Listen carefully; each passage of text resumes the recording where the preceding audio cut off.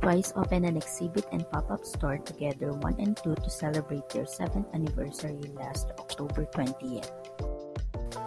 You can view all of Twice albums starting with their debut album The Story Begins in 2015 and ending with their 11th mini album Between One and Two in 2022.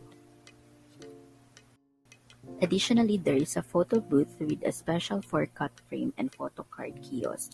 The exhibit and pop-up store will be open from October 20th to November 6th. Meanwhile, Twice Fan Meeting Once Halloween 3 will take place on November 5th at the KBS Arena in Seoul.